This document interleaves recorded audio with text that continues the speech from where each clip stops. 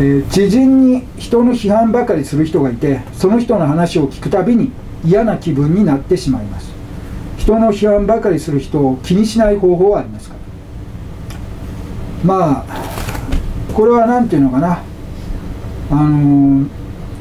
その人以外の第三者ですね。その人にも話聞いてみたらいいと思います。大抵あなただけじゃなくてその第三者もその人のことを嫌ってると思います。人の批判ばっか言う人はですねあなただけじゃなくて他の人にも嫌われてると思いま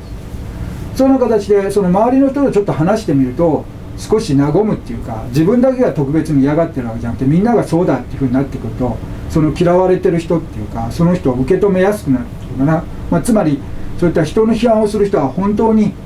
残念な人損をする人かわいそうな人だと思えてくる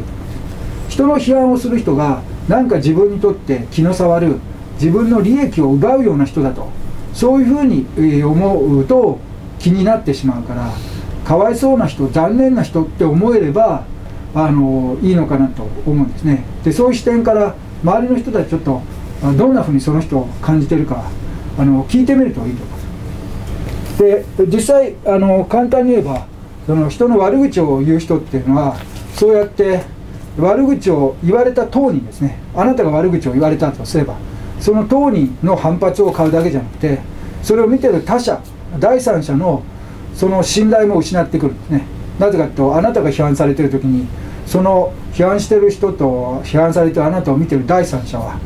ああこの人はこれだけ批判するからあなただけじゃなくて自分にも批判の矛先を向ける可能性があるんじゃないかなと、まあ、そういうふうに思う人もいると思うんですね。でそういったことで悪口を言う人の立場から見ると悪口を言い過ぎると悪口のその対象だけじゃなくて 他の人からも嫌われてきてしまう。そういった不利益これはあると思いますそういった反面教師として見てあげて、えー、そうするとまあ嫌気というかな。不快な気分も和らがってくるんじゃないかとまあこうして批判された人からも返ってくるしそれを見てる第三者からも返ってくるしこれは変法性っていうんですけどね。えー、悪口を言ったらその悪口が周りから返ってくるというかその他人を嫌えばそれが他人から返ってくるということで。すまたあの悪口の科学的な研究によると悪口を多く言う人はその健康を損ないやすいと。認知症のリスクや健康の病気のリスクこれが増大することが分かっていますそれは悪口を言ってる時に悪口を言うことによってその快感の部分があるんですが同時にストレスも感じていてコルチゾールというストレスホルモンこれが増大していることが分かっています。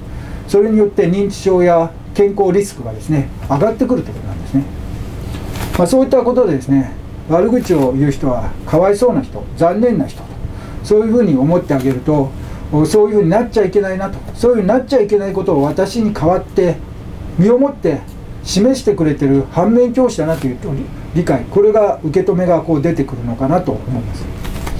でそうするとですねその先にその人が悪口を言う人が他の批判をする人が内面でいろいろ苦しんでるから悪口を悪い癖として身につけてしまったコンプレックスが強いと他人を貶めてそれを紛らわそうとします、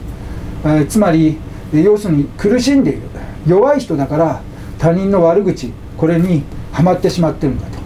悪口依存症みたいになってるんだと。そういうふうにも理解できると思いますそうやってなぜあその人がそのことさら批判をするのかっていう本当の理由のところが分かればその人が自分の利益を奪う悪魔なのではなくその人が実は自分よりも内面でいろいろコンプレックスの中で苦しんでいて、えー、ある時から悪口を言うことでそれを紛らわす悪口依存症になってしまったんだと。いうことが分かってくると思いますそうするとですねまたさらに心は落ち着いてくるし相手を正しく理解できることになりその後その人をどういうふうに全導していくかっていう考え方が出てくる。コンプレックスが強いってことは適切な称賛をしてあげればその人は結果として悪口が少なくなってくる可能性もありますね、えまあ、そういったところを考えていただければなと思うんです。